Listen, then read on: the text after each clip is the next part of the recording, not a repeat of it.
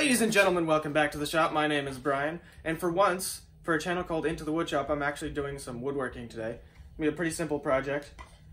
Uh, this is just a test piece. Basically what I'm doing, take a piece of wood, putting a bottle opener on it, and I'm gonna put a magnet in the back, so that when you open a bottle, the magnet falls down, gets stuck on the magnet, you get a big cluster of, of bottle caps here. seen them online, they look pretty cool. I'll be making this as, as some gifts for the holiday season. Should turn out pretty cool. Thought I'd film it since I was gonna build it anyway, and I'll engrave something on it with the laser afterwards. For this project, I have this piece of mahogany board that was left over from a previous project. So free material. It's a pretty nice piece. I actually got it for way cheaper than I should have. Nice piece of three quarter mahogany. Let's cut it up.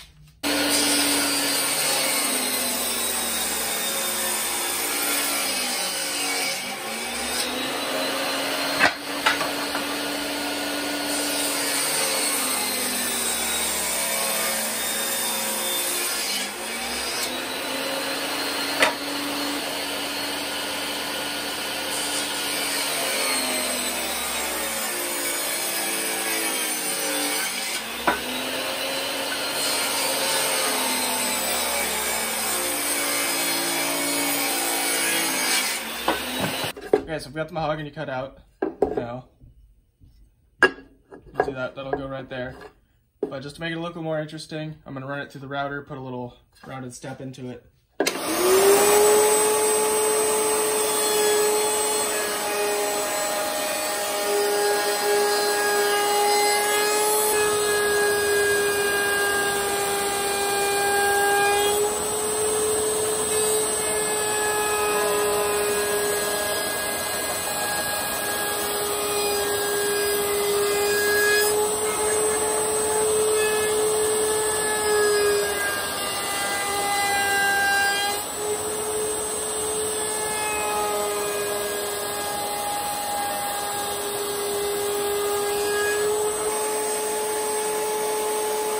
Okay, so I need to put a magnet right here in the back. Got it all sanded and got the edges routed. So I need to put the magnet in here. Just got a Forstner bit in the drill press. I made this little jig since I have to make a bunch of these.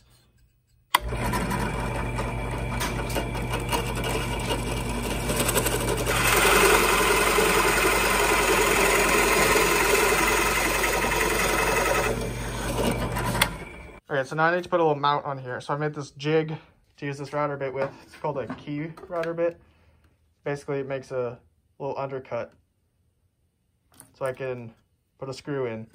So I made this little jig. This just slides in here. It's kind of hard to do with one hand. There we go, slides in. Router bit goes down, slots over, comes back, and back up. I'll show you what it looks like.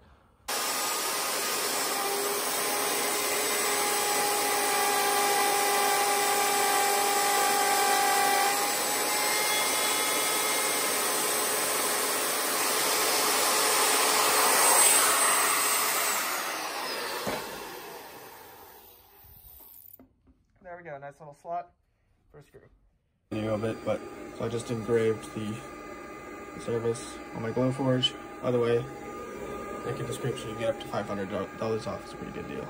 It turned out pretty good. I'm not going to try and explain the engraving, it's an inside joke, so just got to finish it now and put the little ball stopper on and stick a magnet in the back.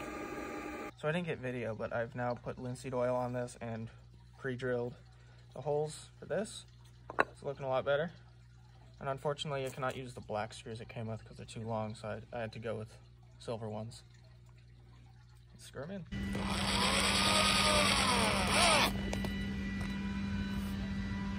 Okay, that's in. Now I just need the magnet. Put a little super glue in the hole. got these magnets here. Got two of them just so it's strong enough. Drops right in the hole. So I hope you enjoyed this little project. Turned out really well. Made a bunch of these. I don't have a bottle that needs opening at the moment. I'll insert a video of that, of them working.